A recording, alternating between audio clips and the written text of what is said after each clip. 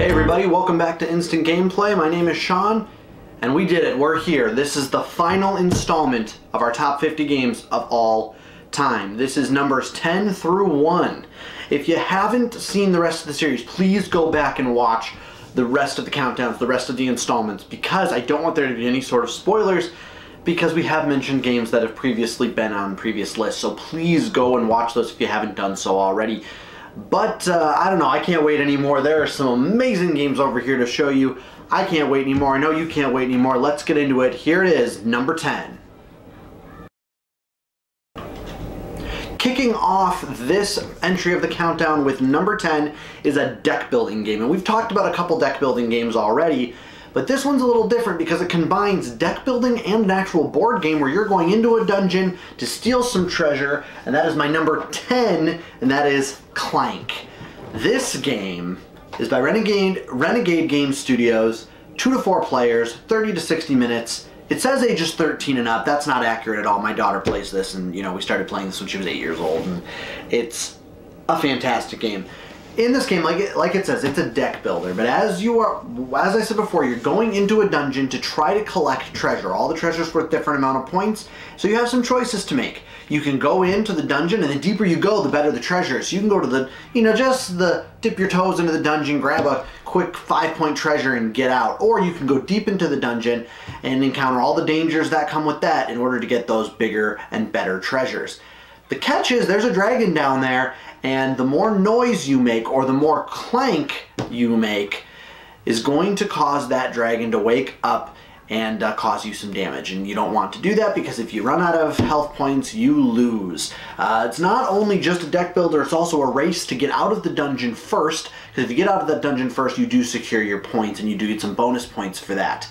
It also puts more pressure on the other players once someone does leave the dungeon because they will only have a certain amount of turns to get out of the dungeon.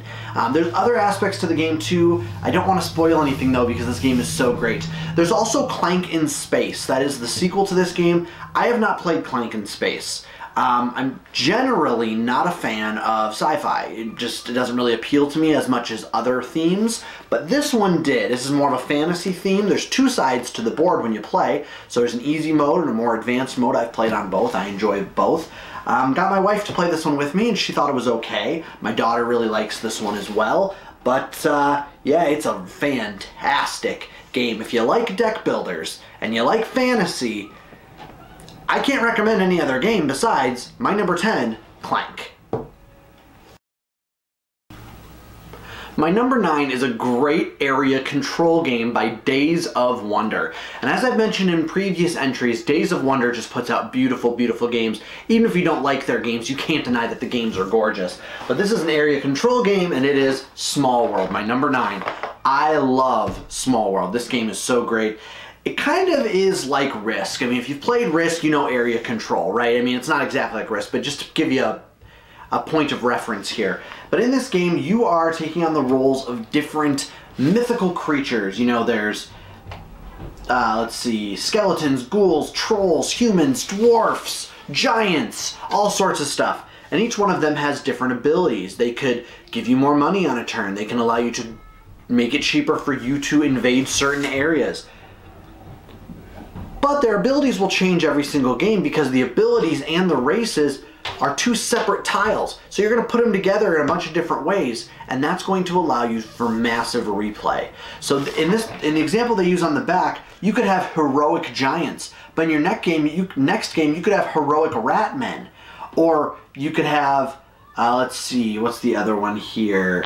Uh, commando elves. You know, so there's a ton of different ways to play this game. I love it. It plays anywhere from two to five players, and each player count has a different map, a different sized map. There's two boards that come with this. They're both double-sided. My daughter loves this game. This was the first game she played that got her into modern designer board games, and I've, I've loved it for the same reasons she did. It says eight and up. She started playing this at age like five. I mean, she we just love this game and it's it's great. Plays in 40 to 80 minutes. I think that's pretty accurate depending on your player count.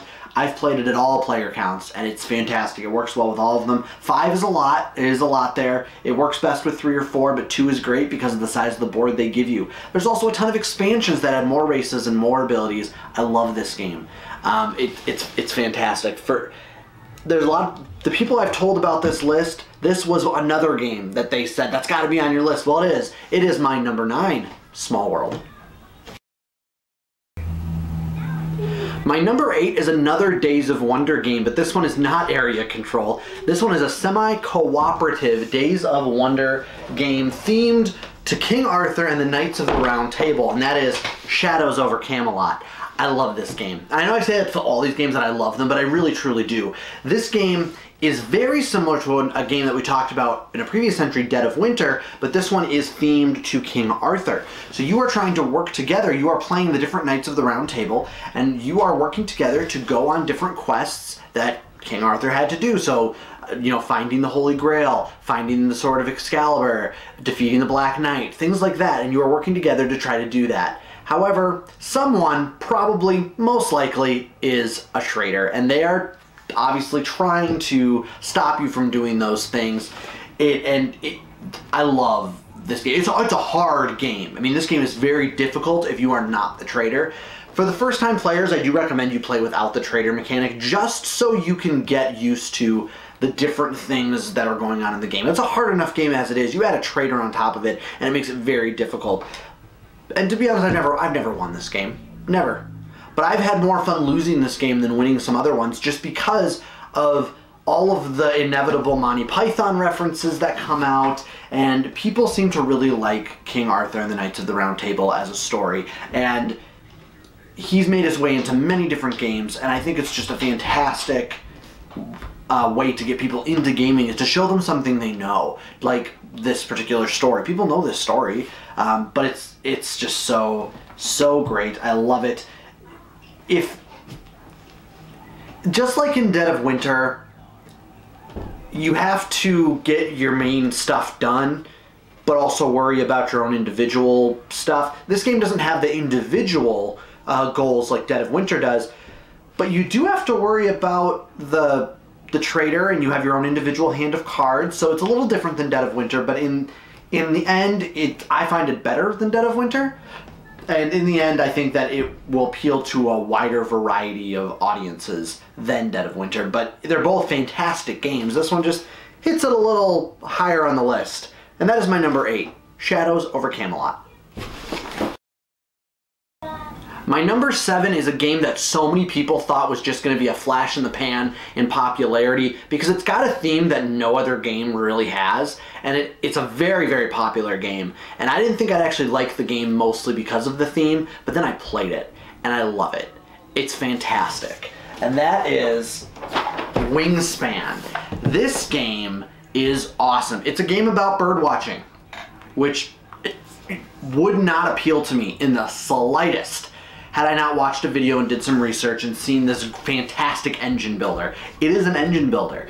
You have this board in front of you with three different habitats that house th many different types of birds. And throughout the game, you're going to be collecting birds to put in those habitats. And each bird allows you to do an additional action at that specific location. So if I go to the wetlands, I'm going to be able to do just whatever that whatever action I want to do there. But if I add birds to that location, I can take additional actions on my turn that those birds let me do. Like for example, some actions allow you to take extra bird cards, tuck them behind other ones, and those score you points. Some cards allow you to take extra food tokens that you have and store them on tokens and that's just fantastic too.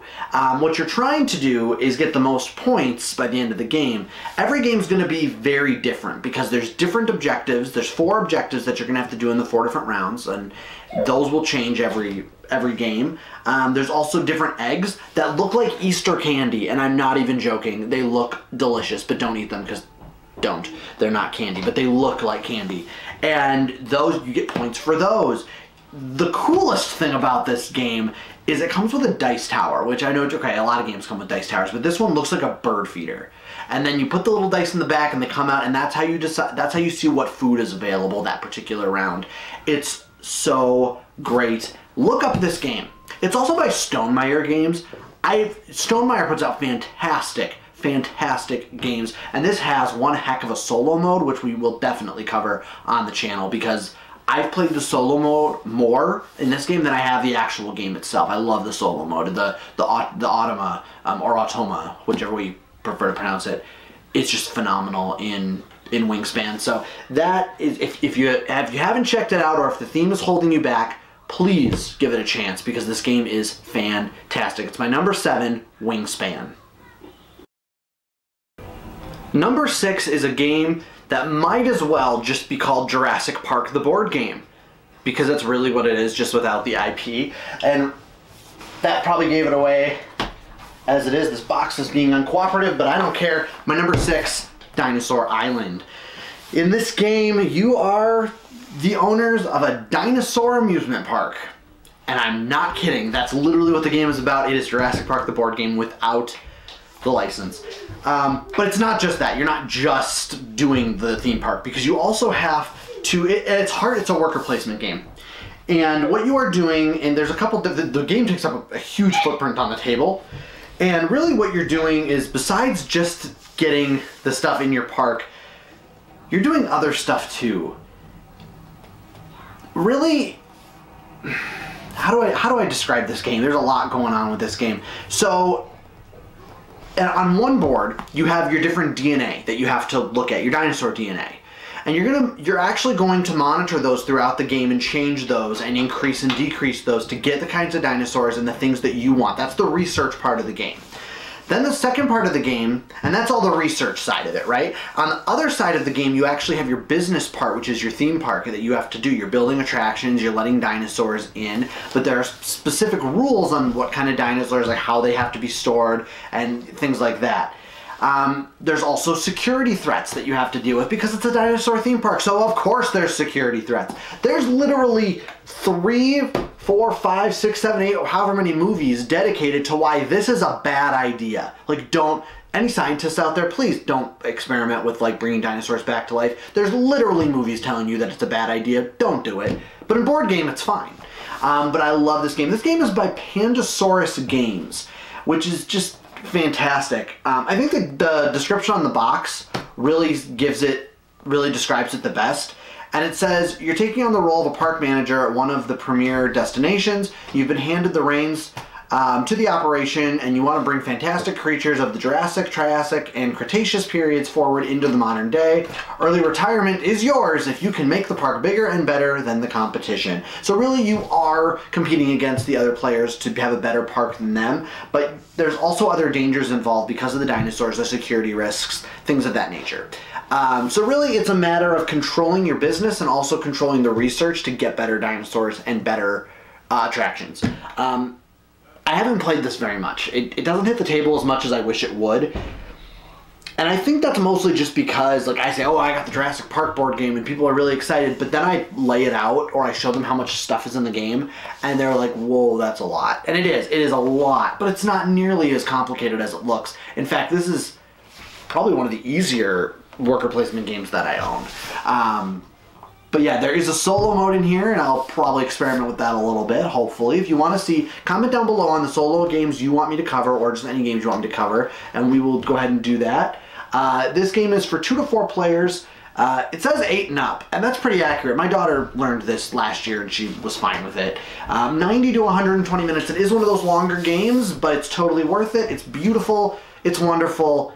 It's Jurassic, but it's not because it's Dinosaur Island. My number five game, we are in the we are in the top five. This is my number five game. We only got five games left. My number five game is a game, it's a sandbox game, which a lot of people don't like. I love sandbox games because they allow you to do literally whatever you want in the game. It's so great. It's got a really cool theme. Um, you don't see a lot of games which are themed, a lot of good games themed to the Old West.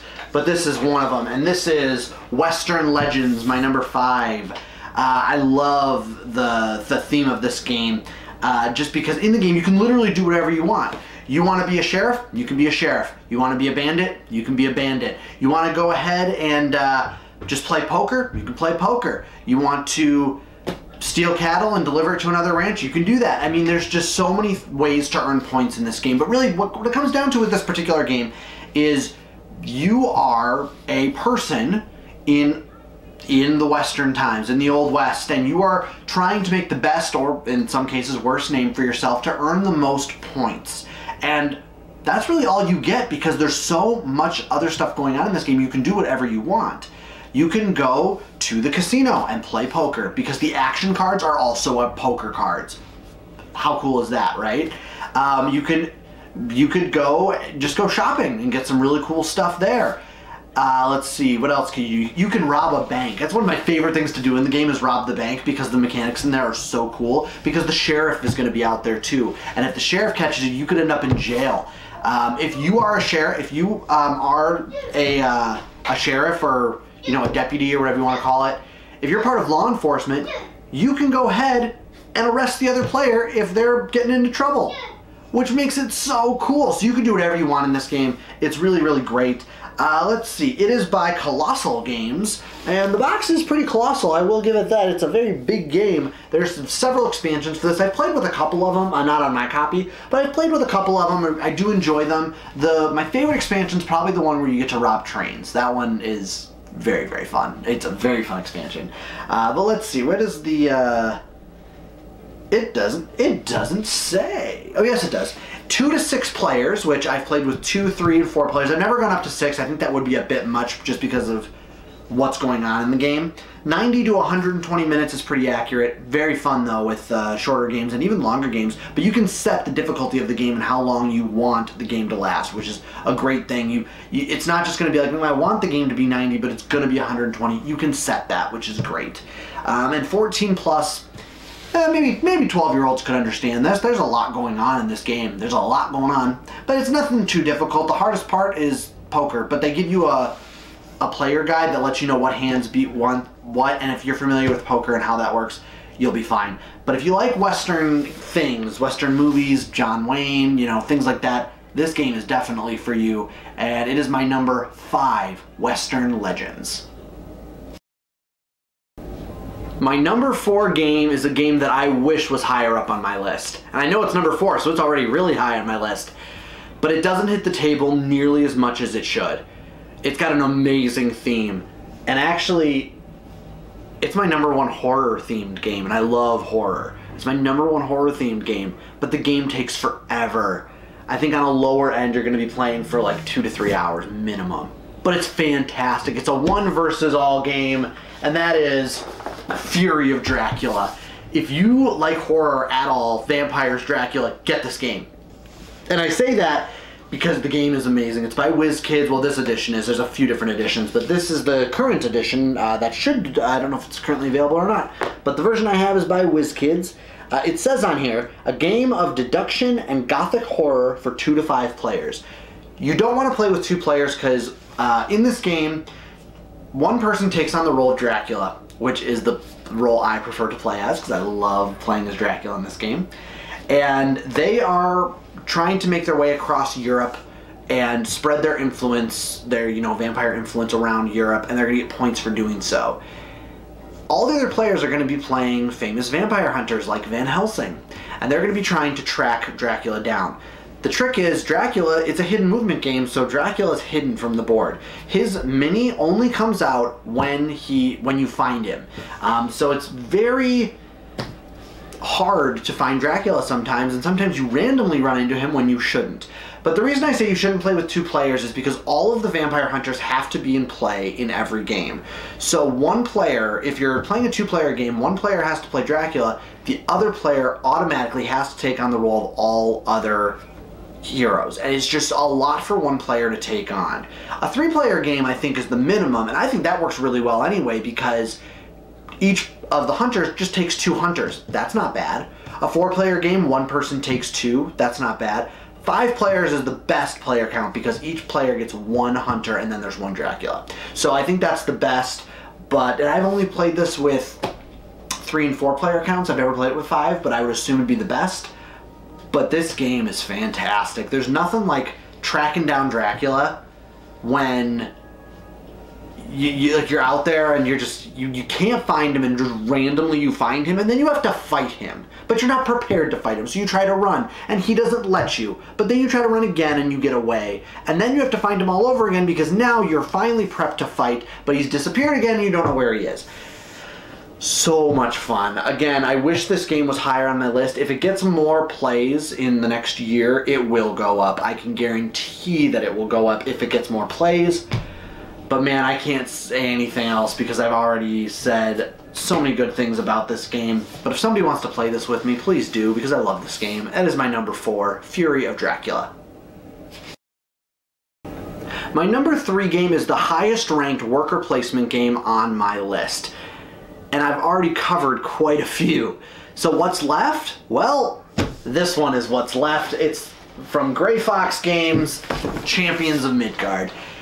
This, for a long time, was ranked as my daughter's number one game. I don't know if it is anymore, um, but it, it was for a while. Um, it's a Viking themed game, which is not a theme I tend to enjoy. I actually had um, another Viking game, uh, Blood Rage, and I had that game for a very long time. Played it, liked the game fine. It's, it's a very good game, very, very good game. Um, and I actually ended up getting rid of it just for lack of play. No one really wanted to play that Viking game because when I would talk about Vikings, they wanted to play Champions in Midgard because it was a little bit easier, and I can respect that and I can understand that. It is a much easier game than Blood Rage. And Blood Rage is a combat, uh, you know, area control game. Um, I don't have it anymore, and it wouldn't have made my top 50 anyway, and I figure if I can only keep 50 games, they should be the ones in my top 50. Besides the point, Blood Rage is great, and if there's a lot of people who love Blood Rage, it's a really great game. Besides the point, that's not my number three. Champions of Midgard is my number three. This is a worker placement game. You are Vikings. You're going throughout the board trying to get the resources and things you need in order to be a successful Viking. There's also different monsters you have to face. There are trolls, and you want to face the trolls because if no one faces the trolls, the trolls kind of rampage across town, and then everybody suffers. There's also different monsters you can face in town, but then you can also take journeys out over the water to get those monsters as well, which is more reward for you there. Um, there's also different things. The, the, really cool thing about this game that I love is when you're recruiting um, people to fight for you, they're represented by dice. And there's three different types of dice in the base game, and they have different weaponry and they have different, you know, distribution of, of die faces, but that's how you fight the troll and the other monsters is with these dice. And it's very interesting because when your when your people die, you just lose those dice. So it's very very cool mechanic to to to attack and to gain um, troops and stuff. Very very cool. Um, but again, my daughter really likes this one. I really like this one. There are a couple expansions. Haven't had the opportunity. There was a game store that was very close to me that had both expansions for like 15 bucks a piece and I should have jumped on it and I didn't and I regret it every day because I should have jumped on that expansion and I didn't. Um, but I would love to play with the expansions. I've heard wonderful things about them. But the base game is just fine as is. I don't think you need the expansions necessarily. That's me having not played with them. But I mean, the base game offers enough where I don't think they're necessary. And if you just want to get the base game and you don't have anything, that's fine. Um, but yeah, if, if you really want a strong worker placement game with a strong theme, and it's not just put a guy out, take the resource, turn those resources into points. It's put a guy out there, get some warriors, but I also need some food, but I also need to attack the troll, but also, there's a lot more going on. This would be a good next step worker placement game. Start with something maybe like Lords of Waterdeep and work your way up to this. Um, for I have friends and family who like worker placement games. They've very much responded well to the other worker placement games that I have, but they haven't tried this yet, and they will because it's a great game. It is my number three, Champions of Midgard. My number two game. This game is my number two. We actually just finished the playthrough of this. It's a adventure style game and we just finished playing through it for the first time and I think that's why it hits so high up on the list. It's got a recency, it's very recent, it's a recency bias and it's got a really awesome theme. I really love this theme and that is my number two. I gotta get it out over here. Harry Potter Hogwarts Battle. This is a cooperative deck building game, and like I said, my wife and I actually just finished our full playthrough of this. And it is a deck builder, just like other games we've talked about, where you know you're using the cards in your hand to buy better cards so you can beat the villains, and that's the that's the biggest part of the game. Is you want to you have to beat all the villains in your given scenario, and I say scenario because there are seven of them. There's one for every movie or book in the game. And I'm not going to show you too much because there's some spoilers in here, but everything comes in one of these little boxes. This is game one. Well, there's seven of these boxes, and as you get through, you open the game the game, you open the box, and you add that to your next game. So you're adding more cards, more things to your character, special abilities, things like that. I don't want to give away too much because it is just very much a spoiler heavy game and I don't want to do that. Um, one of the coolest things about this game too is apart from the stuff that's in the box, the rule book has a little spot in the back that has room for all the instructions that come in little boxes. That's there's no spoilers there. It's just the instructions. So that's really cool. It's they they they put a lot of thought into that. There is also a Toy Story game, Toy Story Obstacles and Adventure game. It uses the exact same deck building system as Harry Potter Hogwarts Battle. It's literally the exact same game, just with a different theme. My wife and I are playing through that right now. As far as I can tell, they're they're very, very similar. Um, just kind of choose your flavor. But I couldn't put that on the list because we haven't finished a playthrough of it yet. Um, we've played games of it, but we haven't finished the full. And I think that the only way to completely judge a legacy game or a game like this where there, you have to finish the whole thing is to finish the whole thing every adventure you can't just do one or two and say you've played it you need to go through the whole thing um, but this hits, this game will go down. It will not stay at my number two. I don't even suspect it'll stay within the top 10. I think recency bias has a lot to do with it. And I think because of recency bias, it hit all the way up to top to number two. This game we won't play as much as the years go on because we've played it already. However, there are expansions that we have ordered and they are on their way and we are going to play them. And uh, hopefully that keeps this up for a little while longer but this game will go down just because of the nature of the game. That's just how it is. But once the game uh, but but for now I'm going to enjoy it as my number two game of all time Harry Potter Hogwarts Battle.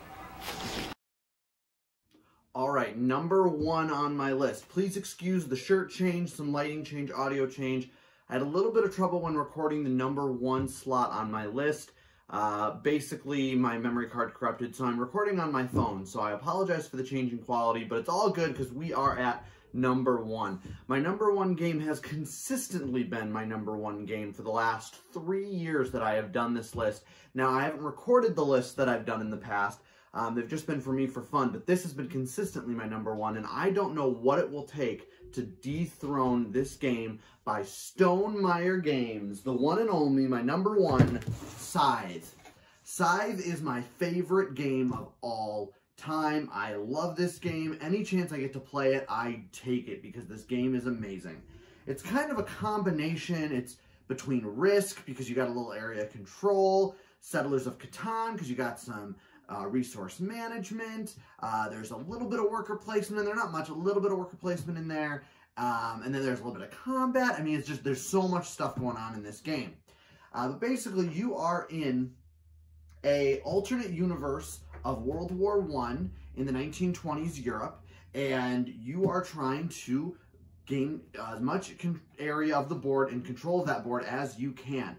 Basically, what you're trying to do is there are several different uh, goals in the game, and you have these little stars, and you're trying to complete these tasks to get your stars on those tasks. Now, once those are done, you put the star on there, and then you're one step closer to victory. Um, and the game ends when so many of those tasks are complete. It, it it's it is amazing. Um, and there's a bunch of different ways to get those stars. You can win combat. You can um, get involved with uh, little story pieces that are on the board. Uh, they're called encounter square, or encounter spaces, I should say. Um, you can be popular. You can, you know, do your friends a favor. You have goals in your hand that you can try to complete. So there's a bunch of different ways, but you're moving throughout the board. This game has a ton of stuff.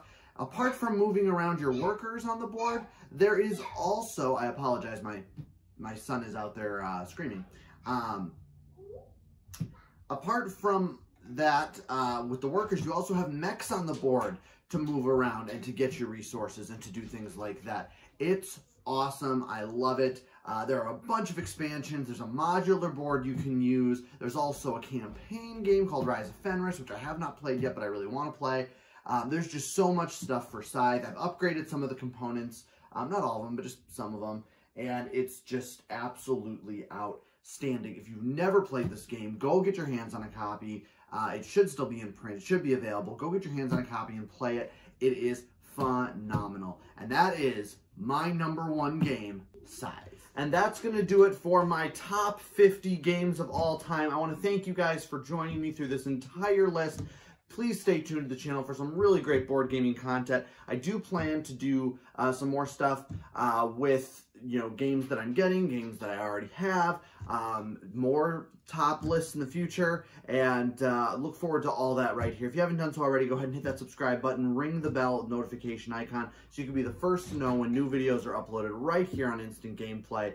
For Instant Gameplay, this is Shawn. Thanks for watching.